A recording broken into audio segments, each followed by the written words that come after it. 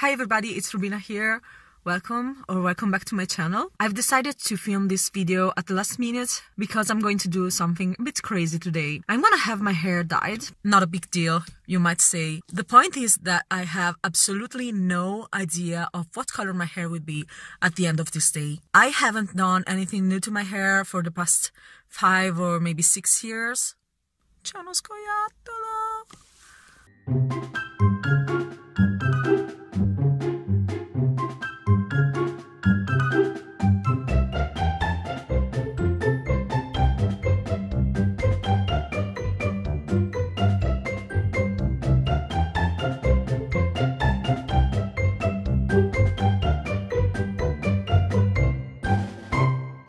okay sorry. There was a squirrel it was so cute. So uh, what i was saying is that i haven't um, I haven't done anything new to my hair for the past five or six years, and I've been wanting to dye my hair a crazy color for a while now, but I kept procrastinating because, of course, having your hair dyed professionally is expensive and also I couldn't really decide what color I wanted. So I've heard about this really good hairdresser in my area who is particularly famous for her crazy color works and sometimes she looks for models for her classes. I've applied twice the first time I wasn't lucky, but this time I've been chosen. I'm pretty sure that her classes are intended for people who are already professionals with their own salons, and of course, they will be under her supervision. So I'm not nervous at all about who will do my hair, but of course, I'm nervous about the color they will choose she only asked me to tell her a couple of colors that I absolutely don't want. And I tell her yellow and orange, but I'm flexible about it because it depends on what other colors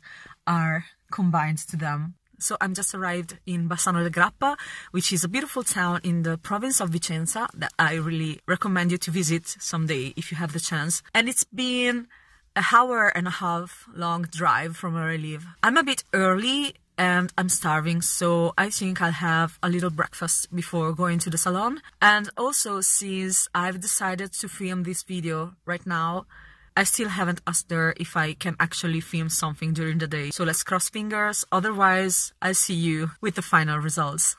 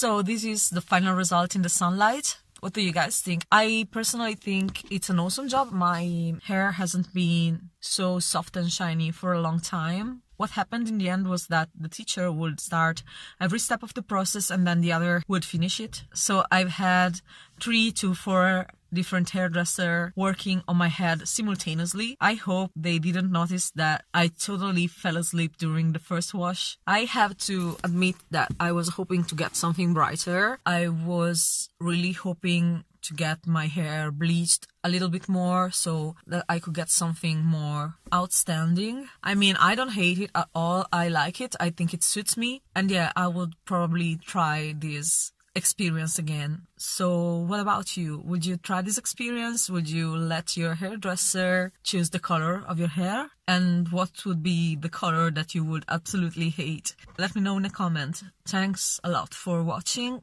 If you like this video, you already know what to do. And I really hope to see you in the next video. Bye!